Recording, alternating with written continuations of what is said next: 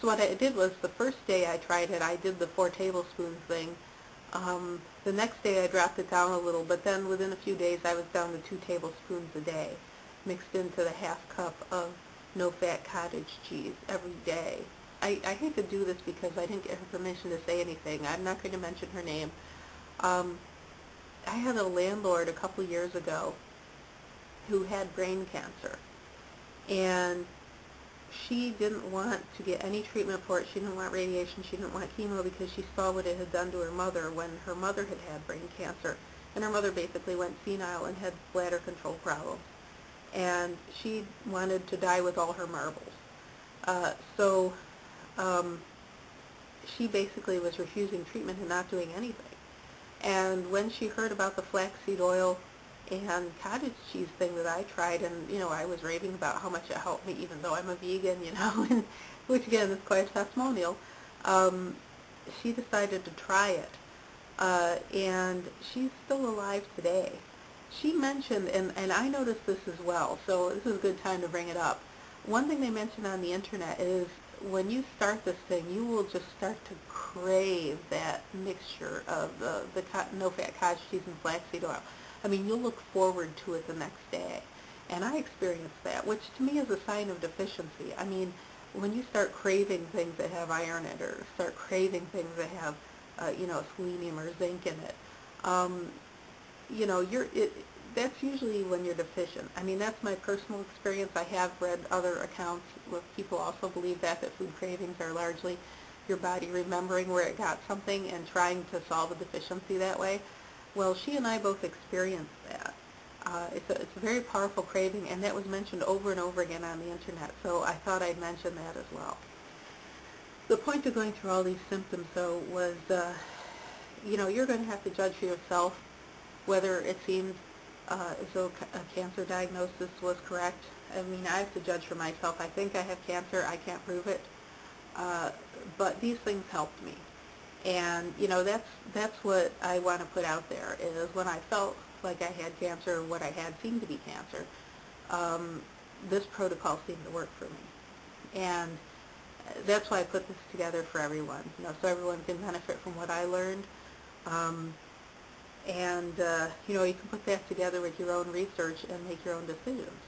Uh, so that was the, the protocol that I used. And, you know, I wouldn't call it Pam Rotella's protocol. I took little pieces of different doctors' protocols and put them together. I just wasn't going to go through all the diagnostic process and put myself into mainstream medicine's care. uh, I, I've known people who've gone through that. Uh, most of them haven't survived. And uh, I have read studies on it, which I don't want to cover right now because then I'd have to dig out the studies to prove that this or that study said, you know, whatever I'm saying. Um, it, it's just, I didn't feel it was the right way for me to go. Uh, I've met people who've done everything differently and it worked out well for them. Also, you know, another advantage to this was a good zapper is a little less than $200 these days. Um, the herbs really weren't that much. I mean, when you get into uh, at least the prices back then, grapefruit seed extract was around $12 a bottle, colloidal silver was $20 for a small bottle. I mean, it wasn't a lot. It wouldn't get you through very well. Oregano was about $20 for a small vial. Um, the price of golden seal varied at the time. It was somewhat expensive, maybe 14 to $20 for a bottle uh, because golden seal has to be wild crafted and uh, in other words, it won't really grow in a garden. It has to be dug up out of the woods. It seems to like the soil in the woods. That's its native habitat. So people have been over-harvesting golden seal, and so it's harder to find. So it was more expensive. I'm not exactly sure how much it is now. I think it's expensive held. It's it's still somewhat more expensive. So 14 to 20 dollars a for a, you know just a tincture uh, bottle, a small bottle of tincture. Although you don't need that much every day. Um, and then elderberry extract varies quite a lot. I mean, obviously, elderberries are plentiful. The expense is in processing it to be an extract. Um, so, you know, I, I don't know, maybe 10 bucks a vial at the time. Um, the parasite herbs were uh, $20 for the black walnut whole tincture, bottle of that lasted a few weeks, and then $10 each or less for the cloves and the, the ground cloves and the um, wormwood. So, I mean, you're talking a few hundred dollars. This whole thing ran me a few hundred dollars plus the supplements like vitamin C, you know, or what was that? I think I paid ten dollars for a bottle of vitamin C, a good bottle. Um, and then the multivitamins I was taking anyway, the food changes, which, you know, made eating a little more expensive. Um, so it, it is a certain amount of money. Oh, the flaxseed oil was over $20 a bottle, closer to 30 for a large bottle of Barlean, which is organic and cold pressed. Um, the cottage cheese was about $4 a, a small tub for the organic stuff, but the non-organic was just about as expensive. Um, so, I mean, there was a certain amount of expense involved. The thing that helped me the most, though, you'll notice, was only, what, $30 for a large bottle of flaxseed oil and then the cottage cheese. And also, there is um, flaxseed oil that's a little less expensive. I mean, you can you can get other brands. I must say, though, I tried Trader Joe's flaxseed oil. I'm not going to pick on Trader Joe's. Trader Joe's has a lot of nice things.